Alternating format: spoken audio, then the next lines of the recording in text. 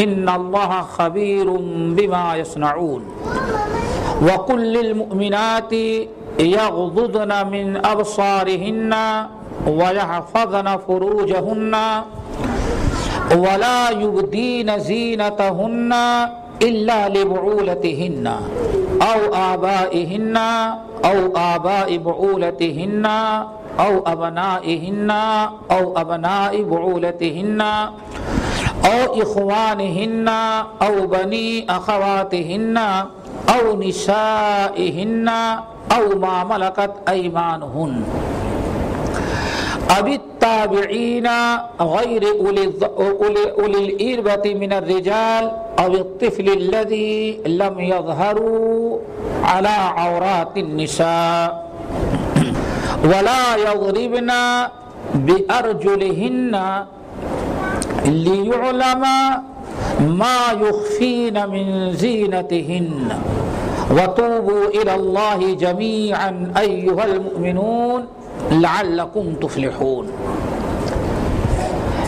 ये सूर्य नूर की दो आयतें हैं, आयत नंबर 30 और आयत नंबर 31 जो मैंने पढ़ी हैं।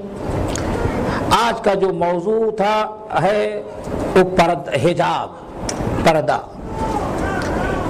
पर्दे के मुतालिक बहुत सारी तालीमात और उसके अहकाम हैं, जिनको एक दर्स में बयान कर देना ये बहुत ही मुश्किल है।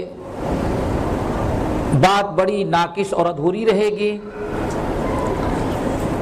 हमने बहुत सारे मौजूआत जो पर्दे के थे, उनमें से आज सिर्फ़ एक मौजू हमने उठाया है, रख पेश करने का इरादा किया है। अल्लाह ताला हम सबको अमल करने की तोफीक नसीब फरमाए।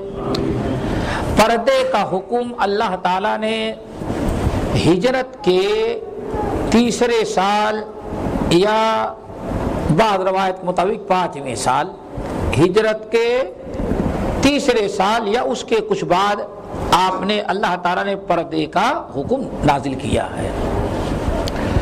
जाहिलियत में हिजाब का कोई तस्वुर नहीं किया जाता था।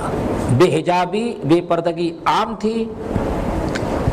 इस्लाम ने जाहिलियत की रस्मों को आहिस्ता आहिस्ता मिटाया और जिस जाहिलियत को आप इस्लाम ने मिटाया, उनमें से एक बेपर्दगी थी, बेहिजाबी।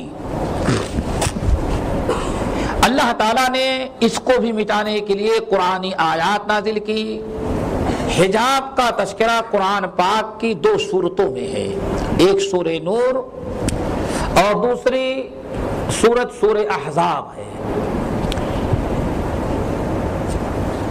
जो कुरान हमारे हाथों में है, जिस तरतीब से, उनमें सबसे पहला मकाम जहाँ अल्लाह ताला ने हिजाब और पर्दे का मोमिनों को दिया है, वो सूर्य नूर है।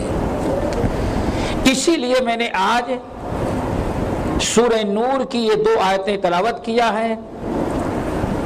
पहले हम आयात कुरान की, कुरान के जो अहकाम हैं, हिजाब और सित्र के मुतालिक, पर्दे के मुतालिक, पहले तो उनको हम सुन लें, देख लें उसके बाद मजीद अहकाम बयान किए जाएँ और अहादीस था किताब सुन्नत की रोशनी में हमारे सामने मुकम्मल हिजाब का तस्करा और हिजाब का बयान आ जाए।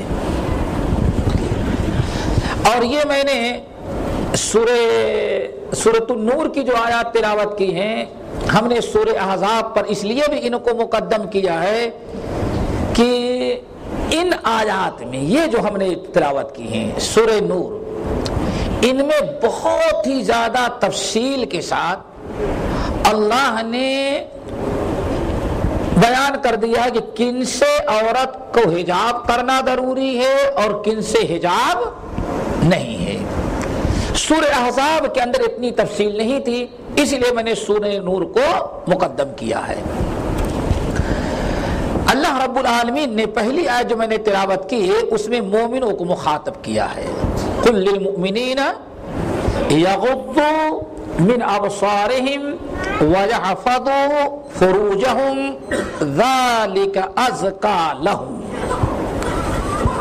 ऐ हमारे नबी आप मोमिनों को हुक्म दे दें क्या हुक्म दे दें मिन अबसारिहिम कि वो अपनी निगाहें नीची रखा करें सबसे पहला हुक्म रब्बुल ने मोमिनों को, मर्दों को हुक्म दिया।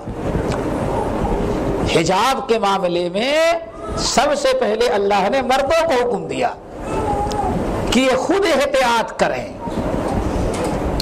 औरतों को बाद में हुक्म दिया। लेकिन आज लड़ाई क्या होती है? अगर औरत पैदा करना चाहती है तो शोहर कहता है, भाई, हमारी बिरादरी में हमारे अंकिल है, हमारे कदीर है, हमारे फला है फला है। इनसे क्या पर्दा तुमको? हालाँकि पहला हुक्म अल्लाह ने किसको दिया है? मोमिनों को। ऐ हमारे नबी अलैहिस्सलाम आप मोमिनों को हुक्म दे दें। क्या हुक्म दे दें? यहुद्दू मिन अबसारहिम, अपनी निगाहें नीची रखा करें। बसर। गद कहते हैं गिरा आ, हल्का कर देने को झुका देने को। हाँ? नीचे कर देने को क्या कहा जाता है? छोड़ देने को कहा जाता है गद अब तर्जमा होगा।